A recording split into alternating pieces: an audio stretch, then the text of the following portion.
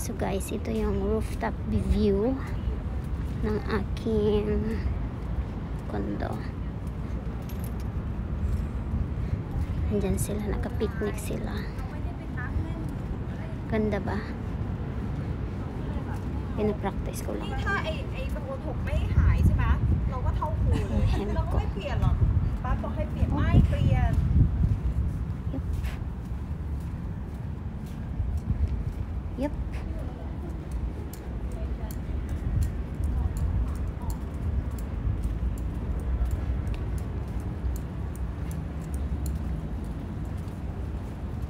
してたのなば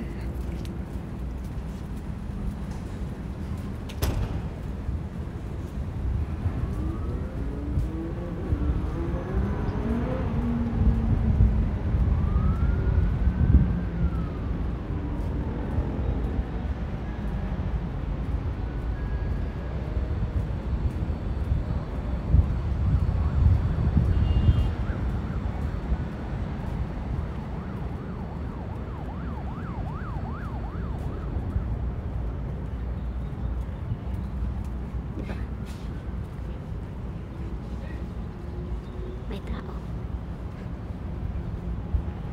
Ayun na, sunset guys. Yan ang Chao Phraya River. Pwede ka mag-chill dito. Tapos, punta tayo dito. Ayan na ang sunset. So, paano na, palubog na ang sunset. Yan. Yan ang Bangkok guys. Yan ang Chao Phraya River. Yan ang center ng Bangkok. Daming building. Diba? Ah. Ang ganda niya. 360 view. Kapoy, manday ning maghawid ko eh. Pero ang ganda niya talaga, in fairness. Oh. Di ba? Oh. Kumusta?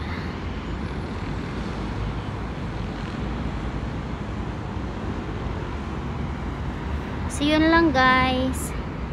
Yan ang view ng aking condo from the 21st floor. Ano? 24. So, yan ang pinakamalaking river dito sa Bangkok. Tas, dyan, oh my god, look.